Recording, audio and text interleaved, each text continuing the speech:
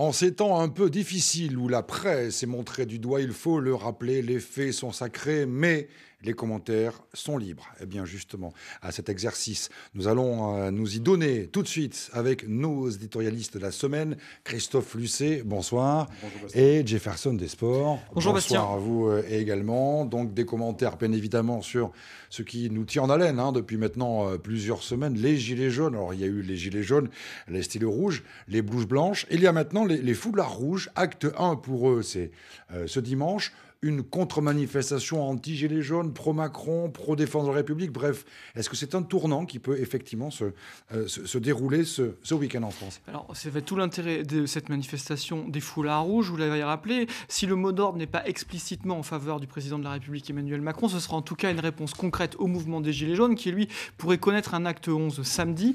Les foulards rouges, eux, défileront le lendemain dimanche. C'est le choix euh, permettra d'éviter une confrontation directe entre les deux tendances, mais surtout le dimanche, euh, les commerces sont traditionnellement fermés, donc on pourrait avoir aussi dans cette manifestation, au-delà des foulards rouges, des commerçants qui, eux, subissent tous les samedis maintenant depuis presque deux mois les mouvements des Gilets jaunes avec les violences et les dégradations qui vont avec.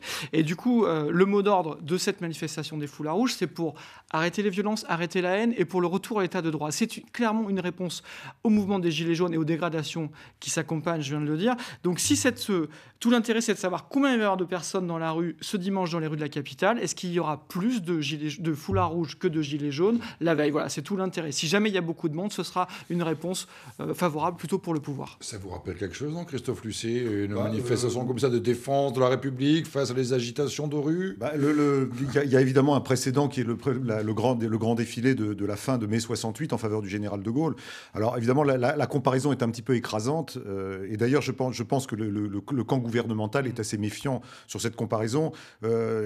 manifestement, beaucoup de ministres et de, députés euh, enfin, ont plutôt milité pour que cette manifestation n'ait pas lieu, ou en tout cas pour ne pas y participer, pour ne pas, euh, pour, ne pas, donner l'impression. Associé, à cette manifestation. et puis pour ne pas donner l'impression de, de, de, de, partir dans un engrenage, un engrenage euh, puisque l'heure est plutôt, l'heure est plutôt à calmer le jeu avec le grand débat national.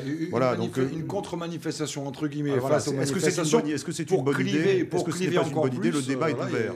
En tout cas, ça va au moins témoigner d'une chose, c'est qu'il n'y a pas qu'un seul courant de pensée euh, en ce moment. Certes, il y a le grand débat national pour poser toutes les questions et surtout en attendant les réponses du président de la République, mais euh, vous avez aussi euh, des gens qui ne partagent pas ce mouvement euh, des Gilets jaunes qui ne protège pas surtout les violences et les dégradations.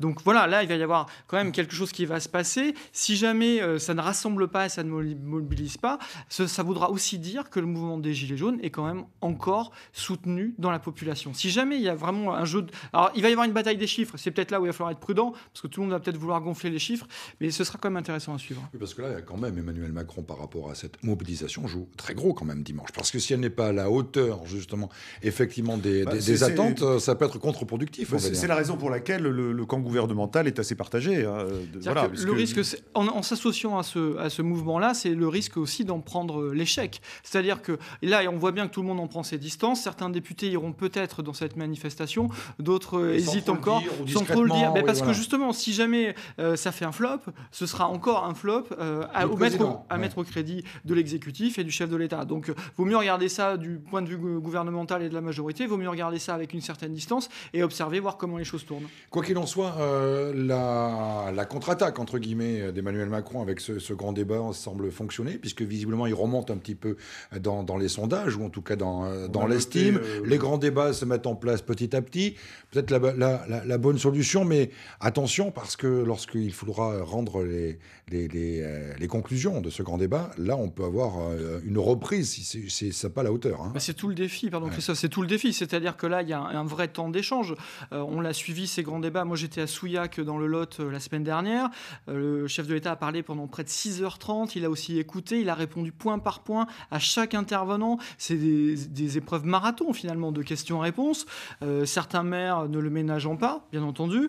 Voilà, maintenant, le débat est posé. Le fil est surtout renoué avec ces élus de proximité. Ces mêmes élus qui, jusque-là, ont été court-circuités par ce même président de la République, qui n'est pas allé au Congrès des maires. On lui, dans ce débat-là, on lui reproche souvent. Donc voilà, il y a aussi l'opération de renouer le contact avec ces élus de terrain qui pourront, eux, organiser par la suite euh, ces débats et surtout porter le message du président. Voilà, il nous a répondu sur tel point, il nous a répondu sur tel point. Voilà, c'est quand même une opération euh, assez, là encore, c'est quand même assez intéressante. Et dans, dans cet exercice-là, moi j'ai déjà dit sur ce plateau, mais le président de la République est plutôt bon. Parce qu'il est en campagne. Bah, il est intéressant de noter que le, que le grand débat qui, qui, a commencé donc, euh, il y a quelques jours va se poursuivre pendant deux mois. Et donc, et donc la fin de ce débat et la restitution dont vous parlez, Bastien, euh, elle va, elle va se dérouler à peu près au moment où la campagne électorale pour les élections européennes va débuter. Donc il va y avoir là une, une, un moment charnière assez, assez délicat, au moment, au moment où d'ailleurs on connaîtra la tête de liste du, du parti macronien euh, donc pour cette, cette campagne hyper importante. donc comment, comment est-ce qu'on aura à la fois une restitution concrète du débat sur les Gilets jaunes et euh, une, une, campagne avec beaucoup, évidemment, une, campagne déclarative sur, sur l'Europe, mais qui évidemment va, va, va, va, se, va se connecter dans ces thèmes avec, euh, avec le grand débat national. Ça va être très intéressant de voir. Je vais vous parler de campagne. et Il est clair qu'on a retrouvé, euh, pour ceux qui ont suivi la campagne, on a retrouvé le candidat Macron, c'est-à-dire très offensif, au contact des gens, qui répond. Voilà, on retrouve ce qui a fait aussi son succès il y a bientôt deux ans.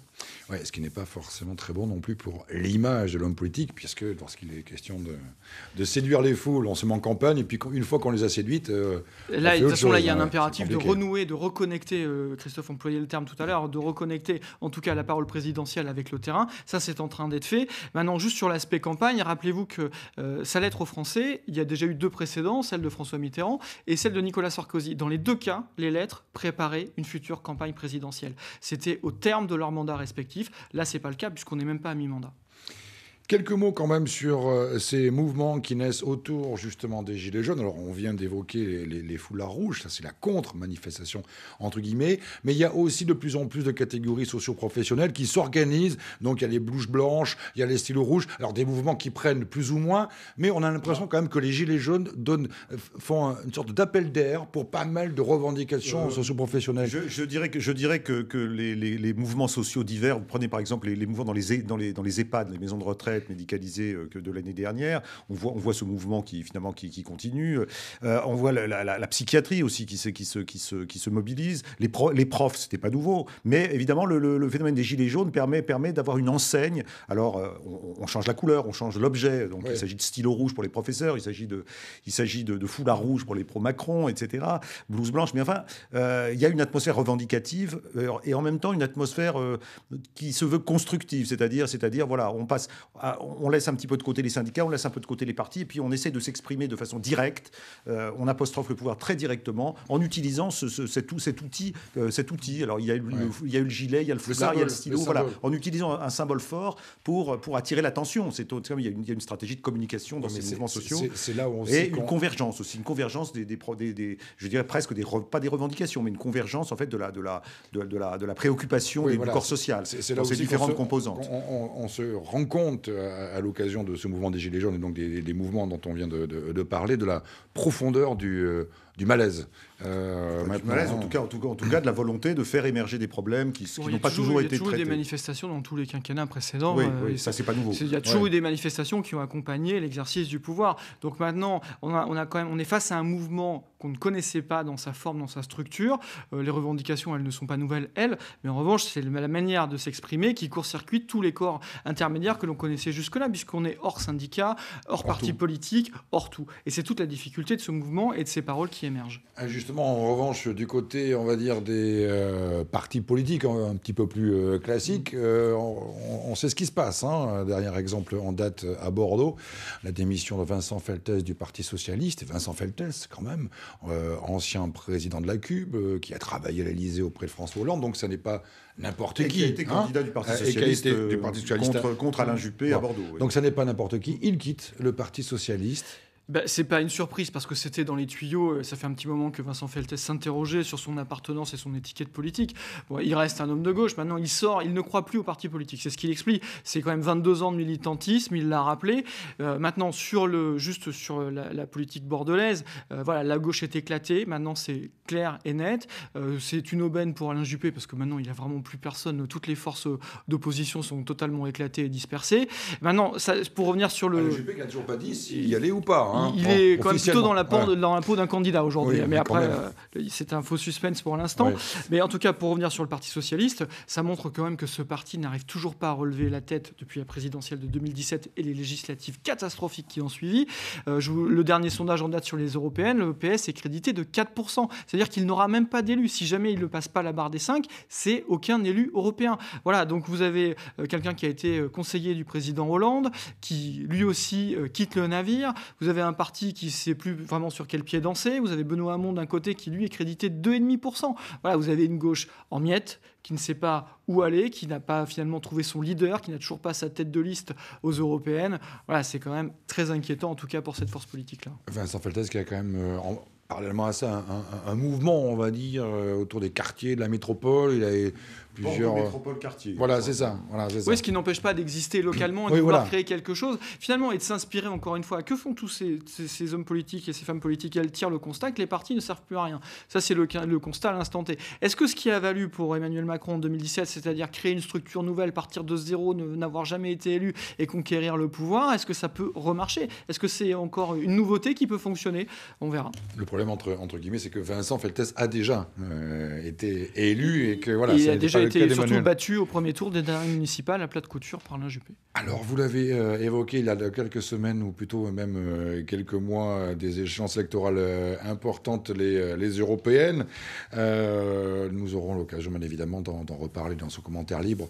Mais ce qui aujourd'hui fait l'actualité et qui mérite un, commentaire de votre part, messieurs, c'est ce qui s'est passé avec Aix-la-Chapelle, ce, ce, traité franco-allemand. Alors, est-ce qu'il faut s'en méfier? Est-ce que ça y est, la France a été vendu à c'est malheureux que ce traité ait été pris en otage par, par, par, des, par des déclarations tout à fait absurdes euh, qui sont venues, qui sont venues notamment de l'extrême droite, et, mais également qui sont venues d'Allemagne. Hein. C'est ce qui est un peu nouveau. Euh, en gros, euh, ce traité préparait le retour de l'Alsace et de la Lorraine à l'Allemagne. On, on, on, rendrait l'allemand obligatoire en Alsace. il aurait enfin, des, des, propos. la France serait prête à abandonner son siège au Conseil de sécurité de l'ONU à l'Allemagne ou, ou, à qui, ou à qui je ne sais qui. Euh, voilà, de, tout ça, tout ça évidemment n'est pas dans le traité, n'y sera jamais. Euh, ce, qui est, ce, qui est, clair, c'est que, c'est que l'atmosphère actuelle est à, est, à, est, à, une méfiance généralisée et à la propagation de ces, de, de ces, de ces, de, de, ces, de ces fake news, de ces infox, de ces infox qui, donc, en l'occurrence, ont pollué euh, la signature d'un traité qui n'avait rien de révolutionnaire, qui est un, qui est un traité franco-allemand qui est signé dans une période plutôt de base eau euh, européenne et qui, au fond, essaye, essaye de, de consolider une un lien franco-allemand qui s'est un peu distendu ces dernières années.